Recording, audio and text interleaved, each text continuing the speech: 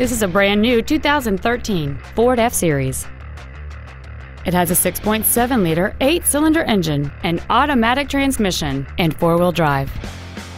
Features include satellite radio, a low tire pressure indicator, traction control and stability control systems, leather seats, side curtain airbags, rear seat child-proof door locks, adjustable driver pedals, dual power seats, air conditioning, and a navigation system.